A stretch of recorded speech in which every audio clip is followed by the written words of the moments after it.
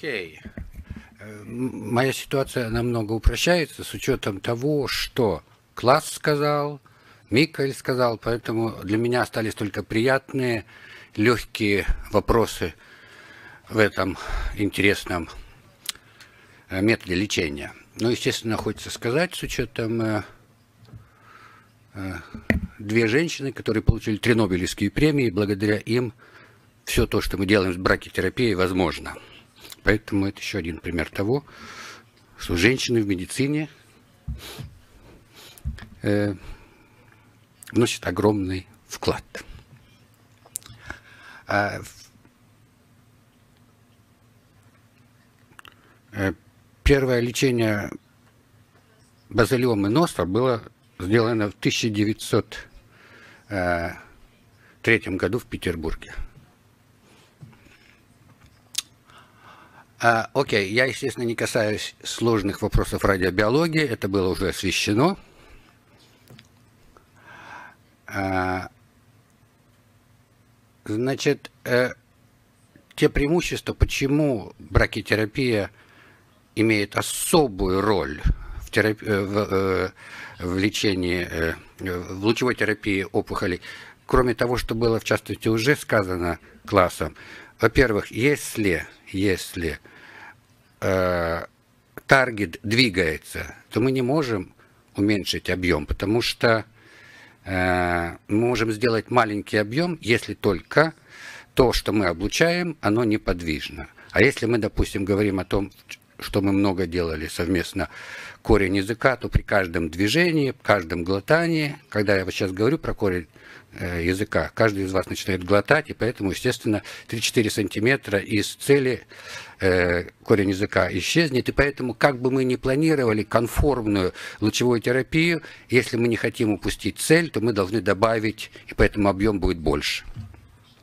При бракетерапии сам источник облучения движется вместе с целью, и поэтому это одна из возможностей сделать более конформную лучевую терапию, что невозможно сделать ни с протонной терапией и ни с каким другим способом. Еще одно преимущество бракетерапии с точки зрения фракционирования. Э, невозможно с фотонной терапией, с протонной терапией дать 6 фракций в день или 8 фракций, или даже 24 фракции, что в принципе во многих центрах делается. Мы этого не используем, но э, э, с фотонной терапией нет возможности сделать 8 фракций в день. А, а с бракетерапией это, в принципе, достаточно стандартный э, способ подведения дозы, что обеспечивает акселерированную, э, акселерированный и гиперфракционированный способ лучевой терапии, что имеет, естественно, свои радиобиологические преимущества.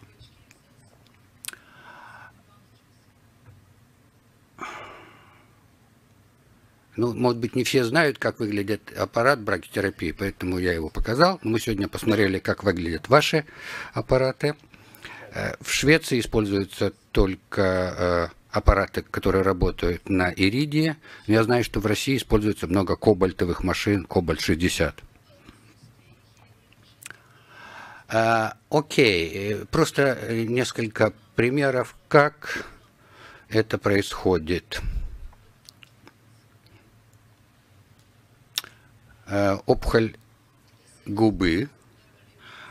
А, опять же, можно, естественно, облучать маленький объем. Но для того, чтобы облучать маленький объем, мы должны знать, что мы не упускаем метастазы на шее. Поэтому, имея, почему мы и включили э, этот доклад, условием проведения конформной э, лучевой терапии с малым объемом заключается если мы знаем, что у пациента нет э, метастазов на шее, иначе мы должны включить какой-то способ лечения э, метастазов на шее, хирургический или лучевой. Но если мы уверены, что метастазов нет, то, естественно, мы можем провести бракетерапию. Э, и э, это 2007 год, я сознательно по-прежнему безрецидивно. А, то же самое здесь. Э, это, естественно, хирургически можно лечить такую опухоль.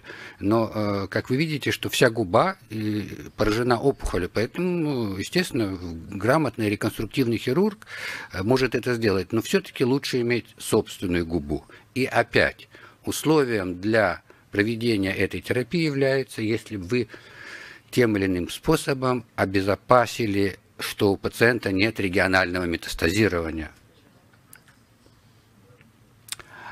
Другая ситуация – Э, морфия базалиома. Пациент уже оперирован раньше, морфия базалиома, она не имеет никаких конкретных границ, поэтому если вы начинаете делать хирургию, то э, очень большая часть носа и щеки вы вынуждены будете удалить. Э, два катетера, которые решают проблему, естественно, для пациента это огромная выгода.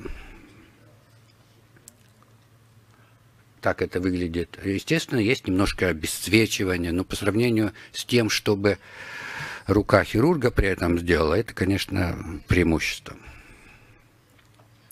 А, то, что нарисовано здесь, это наш ведущий хирург пластический по носу, который может сделать любой нос. Я его попросил нарисовать, а сколько надо удалить, чтобы это все-таки было радикально. Вы видите, здесь находится опухоль. Э, поэтому большая часть носа была, исчезла.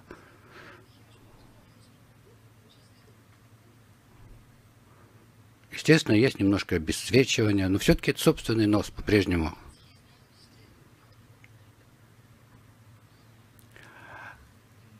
Бракетерапия э,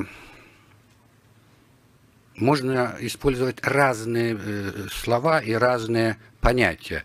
Э, мы используем ее как э, то, что я показывал, интерстициальная терапия, когда сам источник находится непосредственно в опухоли. В данном случае идет речь о так называемой контактной бракетерапии, то есть мы ничего не вводим в опухоль, мы подводим источник облучения к поверхности опухоли. То есть это способ лечения опухоли носоглотки. Элегантный, простой способ лечения носоглотки, который дает возможность дать очень высокую дозу именно там, где она должна быть. Естественно, современными возможностями протонной терапии, стереотоксической терапии, все это тоже возможно, но с точки зрения cost-benefit нет ничего, что более эффективно. И преимущество, что требуется совместная дружеская работа между отоларингологом и онкологом. А можно сделать э, опухоль э, верхней челюсти, требуется лучевая терапия. Не так просто обеспечить конформную лучевую терапию именно в том месте, где не совсем стопроцентный э, маргинал. Поэтому вот такой небольшой аппликатор обеспечивает возможность подвести дозу прямо там, э, в верхней челюсти, где, э, где это необходимо. То, что фантастические распределения дозы, которые показывал класс, это именно этот ребенок.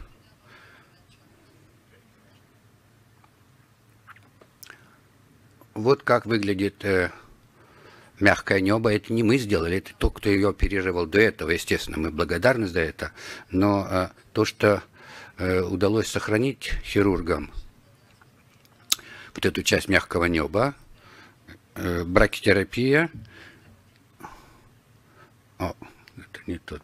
А всяком случае, сейчас это уже не ребенок, она себя чувствует хорошо, она говорит без каких-то нарушений, у нее нет открытого назолеринга, то есть это тот случай, когда это функционировало так, как это планировалось. Но бракетерапия может и использоваться под другим красивым названием. Интраоперационная лучевая терапия – сложная вещь. Мало центров, которые это могут обеспечить. В свое время в Каролинском госпитале была такая установка, от нее все устали и перестали использовать. То есть имеется в виду операционная, лучевой аппарат, рана, и вот, значит, облучается.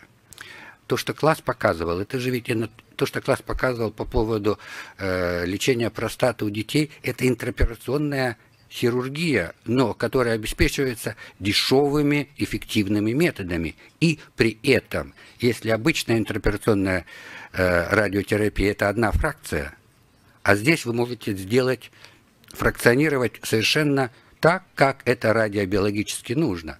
В данном случае это рецидив, региональный рецидив рака молочной железы. Пациент получил все, что можно было получить, по-прежнему продолжалась опухоль, поэтому э, мы сделали лимфодиссекцию, и вместе класс и я поставили, э, поставили, то есть то, что лежит на дне раны, это, это артерия каротис.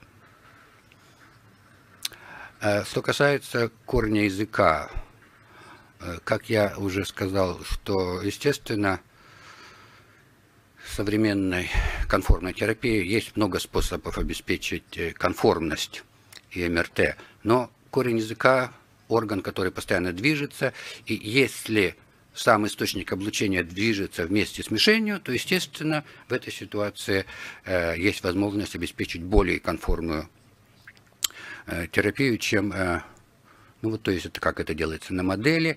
Мы пользуемся не, не этой техникой, которую вы здесь видите. С учетом того, что мы пользовались разными вариантами, пациентам не очень удобно иметь э, пуговку, которая находится на корне языка. Поэтому мы используем дугу, что намного дает меньше, э, меньше э, э, неприятных ощущений пациенту, а кроме того, ее легче удалить. Мы никогда практически не используем наркоз, когда мы удаляем аппликаторы, с учетом того, что если это дуга, то это будет технически намного легче удалить.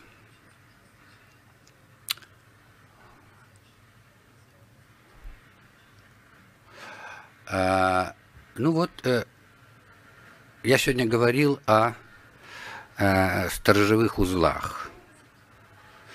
Естественно, э, бракетерапия дает возможность обеспечить высокую дозу там, где это нужно, очень быстрое падение дозы, но это имеет смысл только в одном случае, если объем, который вы облучаете, вы знаете, какой это объем, и вы знаете, что это маленький объем.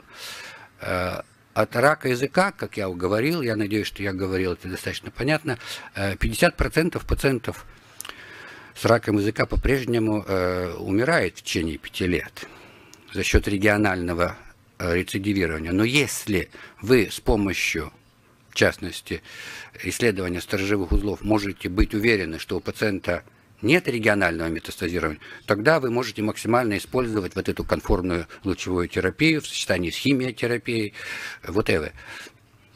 А, окей, естественно, это была большая опухоль, э, опухоль исчезла, это видно, это, эта женщина не оперирована, это опухоль исчезла в результате онкологического э, лечения, и, э, и пациент, конечно, чувствует себя достаточно хорошо с учетом того, что у нее по-прежнему есть ее язык.